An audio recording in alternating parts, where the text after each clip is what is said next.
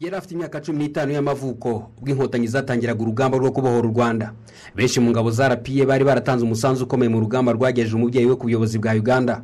Kuri ubu muhozi kayine rugaba afite ipeti rya leta generali kandi ni we mugaba w'ingabo zirwanira ku butaka muri uganda. Ni umujyana wa perezida museveni mu bijyanye n'umutekano ndetse akaba ari nawe ushinzwe ibikorwa byihariye bya gisirikare. Muri nyakanga igihumbi magana cyenda mirongo cyenda n'ine ubwo inkotanyi u rwanda. Nyuma yo guhagarika jenoside yakorewe abatutsi muhozi yari afite imyaka cumi n'icyenda y'amavuko.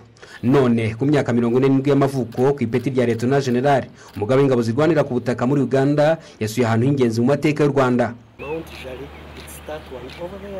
Ingoro y'amateka y'urugamba rwo guhagarika jenoside iri mu nteko ishinga amategeko. Ahahoze hitwa senide hari hacumbikiwe. Ingabo magana atandatu za rapiye zari zaje gucunga umutekano w'abanyapolitiki ba fpr hagendewe ku masezerano ya rusha atarabuje jenoside kuba.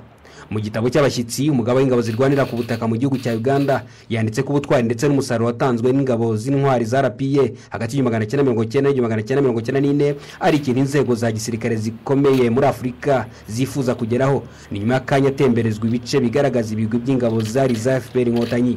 Umujyanama wihariye perezida museveni unashinzwe ibikorwa byihariye bya gisirikare yakomeje avuga ko ashima abagize uruhare mu rugamba yise urwikuzo ndetse ashimira perezida wa repubulika paul kagame ku bw'icyerekezo n'imiyoborere ireba kure yatumye igihugu kiva mu bihe bikomeye.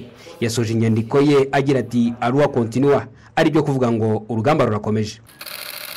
Mbere yo gusura ingoro y'amateka y'urugamba rwo guhagarika jenoside leta generali muhozi kayine rugaba yabanje kunamira abishwe muri jenoside yakorewe abatutsi baruhukiye mu rwibutso rwa jenoside rwa kigali ku gisozi. Aha naho mu byo yanditse mu gitabo cy'abashyitsi yashimiye ubuyobozi bw'u rwanda burangajwe imbere na perezida paul kagame kuba bwarashyizeho urwo rwibutso akavuga ko bizafasha ibisekuru bizakurikiraho kwirinda kugwa mu makosa nk'ayo mu bihe byashize.